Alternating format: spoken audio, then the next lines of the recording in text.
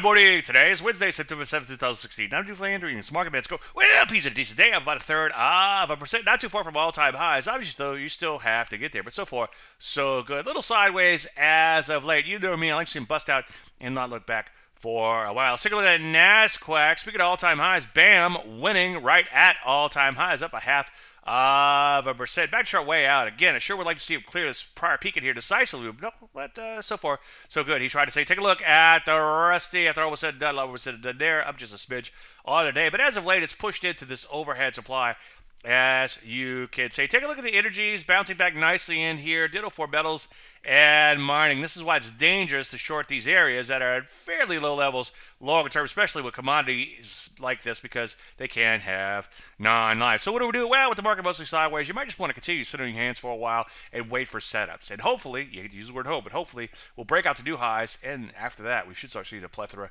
of setups. Any questions? Usual, Dave, DaveLandry.com. I'm Dave Landry, and you start market it.